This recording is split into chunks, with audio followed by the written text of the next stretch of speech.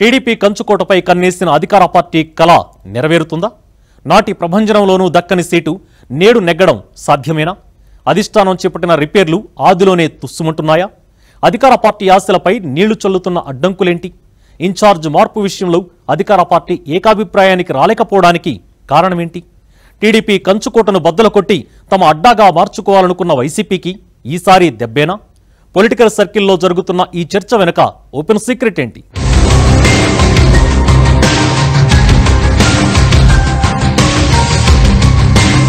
Telugu Desam కంచుకోటపై YCP కన్ను.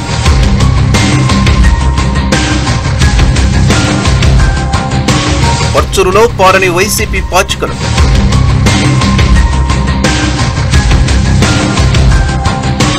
ఇన్ఛార్జిపై క్యాడర్లో తీవ్ర అసంతృప్తి.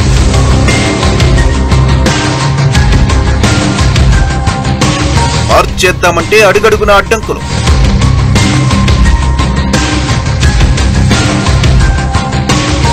మంచుడి ధోరణితో మరోసారి దెబ్బేనా? ఉమ్మడి ప్రకాశం జిల్లాలో పర్చూరు తెలుగుదేశానికి కంచుకోట. గత ఎన్నికల్లో జగన్ సునామీని తట్టుకుని మరి టీడీపీ ఈ సీటు గెలిచింది. దీంతో కలగా మిగిలిన పర్చూరును ఈసారి ఎలాగైనా దక్కించుకోవాలనే పట్టుదలతో ఉన్న రూలింగ్ పార్టీకి అడ్డంకులే ఎదురవుతున్నాయి. స్థానికంగా పార్టీని గాడిన పెట్టడంతో పాటు వచ్చే ఎన్నికల్లో అక్కడ వైసీపీ జెండా ఎగరేసేందుకు ఇన్ఛార్జిని మార్చడమే మార్గంగా వైసీపీ అధిష్టానం భావిస్తోంది. ప్రస్తుతం పర్చూరు ఇన్ఛార్జిగా ఉన్న రావి రామనాథం నాయకత్వంపై స్థానిక కేడర్ అసంతృప్తిగా ఉందనే టాక్ వినిపిస్తోంది. ఇప్పటికే కేడర్ వర్గాలుగా విడిపోయిందనే చర్చ కూడా ఉంది. పరిస్థితులు ఇలాగే కొనసాగితే పర్చూరులో మరో దెబ్బ తప్పదని కేడర్ భావిస్తోందట.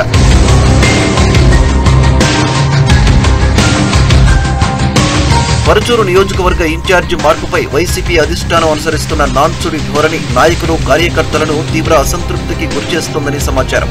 ఏడాదిన్నర కాలంగా ప్రస్తుత ఇన్ఛార్జి రావి రామనాథం బాబును మార్చి కొత్తవారికి బాధ్యతలు అప్పగిస్తున్నట్లు ముఖ్యమంత్రి బంధువు మాజీ మంత్రి మూడు జిల్లాల సమన్వయకర్త బాలినేని శ్రీనివాస్ రెడ్డి పలు సందర్భాల్లో చెప్పినా నేటి వరకు అది కార్యరూపం దాల్చలేదు. ఇన్ఛార్జిని మారుస్తున్నారంటూ ప్రచారం జరిగిన ప్రతిసారి ప్రస్తుత ఇన్ఛార్జి రామనాథం బాబు ముఖ్యమంత్రి జగన్ను కలిసి వస్తున్నారు. దీంతో ఇన్ఛార్జి మార్పు వ్యవహారం వాయిదాల మీద వాయిదాలు పడుతోందని తెలుస్తోంది. వినాయకుడి పెళ్ళిప్పుడంటే ఎప్పటికప్పుడు రేపే అన్నట్టుగా వ్యవహారం తయారైందని చెప్పుకుంటున్నారట. ఇలాంటి పరిస్థితుల్లో పార్టీ నాయకులు కార్యకర్తలు తీవ్ర అయోమయానికి గురవుతున్నారని సమాచారం.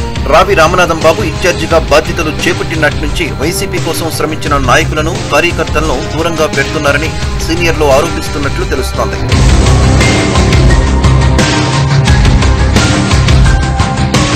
పర్చూరు నియోజకవర్గ ఇన్ఛార్జ్ నియామకం ఎడతెగని పంచాయతీగా మారింది. ఇన్ఛార్జిగా ఉన్న రామనాథం బాబును తొలగించి ఎవరిని ఎంపిక చేయాలనే విషయంలో సీఎం బాలినేని ఏకాభిప్రాయానికి రాలేకపోవడంతో అది వాయిదా పడుతూ వస్తోంది.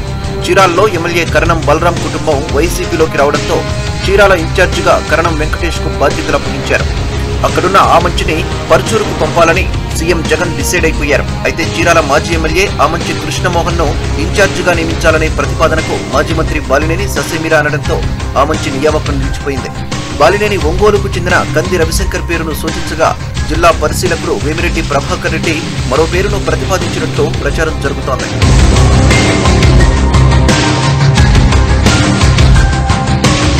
ఇప్పటికే పార్టీకి తీరని నష్టం జరిగిందని అధిష్టానం ఇన్ఛార్జి వ్యవహారంలో వెంటనే నిర్ణయం తీసుకోకుంటే రానున్న ఎన్నికల్లో తీవ్రమైన భంగపాటు తప్పదని వైసీపీ నాయకులు కార్యకర్తలు ఆందోళన చెందుతున్నట్లు సమాచారం. గత ఎన్నికల్లో వైసీపీ ఓటమికి కారణమైన కొంతమంది వ్యక్తులు నియోజకవర్గంలో గ్రానైట్ ఇసుక రేషన్ బియ్యం గ్రావిల్ మాఫియాలతో చేతులు కలిపి చెలరేగిపోతున్నారని ఇది పార్టీ ప్రతిష్టకు నష్టం కలిగిస్తుందని అసమ్మతి నేతలు ఆందోళన వ్యక్తం చేస్తున్నట్లు తెలుస్తోంది. పరిస్థితి మరింత విషమించక ముందే అధిష్టానం జోక్యం చేసుకుని కొత్త ఇన్ఛార్జిని నియమించి పార్టీని గాడిలో పెట్టాలని కోరుతున్నారట.